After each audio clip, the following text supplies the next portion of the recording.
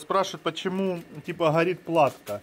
А, Надо сказать, что нагрев стола в бамбулабе идет мимо блока питания, поэтому блок питания идет такой маленький. И Вова прокомментирует, э, какое совпадение было у людей, что у них было. Совпадение в том плане, что до этого обратились э, с точно таким же проблемой.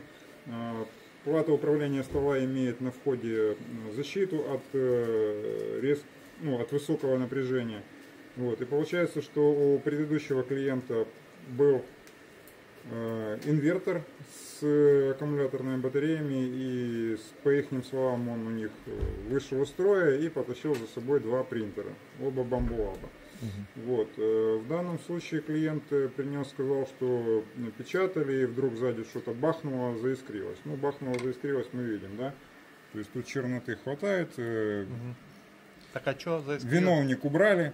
А что заискрилось? Я думаю, что в данном случае тоже был бросок напряжения, а поскольку вариста рассчитан на 250 вольт, то, соответственно, А, при превышении он, да, Так. он как бы должен на себя замкнуть и, и сгореть предохранитель. Но в данном случае он не просто на себя замкнул, он взорвался, одна ножка осталась там, другая отлетела.